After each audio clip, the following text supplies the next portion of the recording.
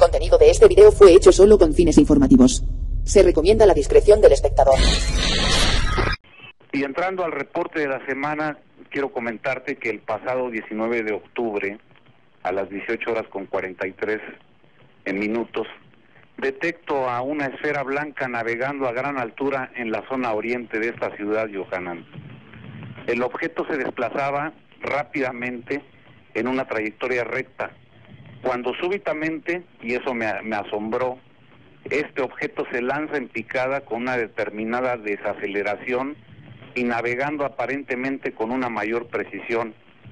En tanto esto sucedió, las nubes grisáceas que estaban a esa hora de la tarde hicieron un marco de referencia excelente para que yo me pudiera percatar que se trataba precisamente de uno blanco luminiscente, Johanan.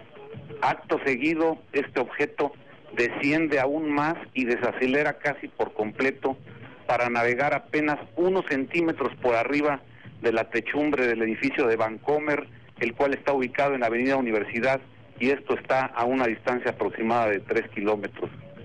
Este insólito acontecimiento sugiere que el octo buscaba algo como si estuviera explorando a detalle lo que había en esa azotea. Acto seguido, esta misteriosa esfera, Johanan, se eleva sutilmente para después emprender su vuelo a gran velocidad en un ángulo de 40 grados hasta perderse a la distancia con dirección a la Jusco.